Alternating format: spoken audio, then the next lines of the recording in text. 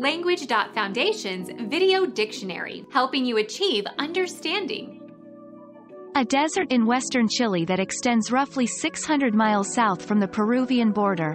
One of the driest areas in the world, but rich in nitrate and copper deposits.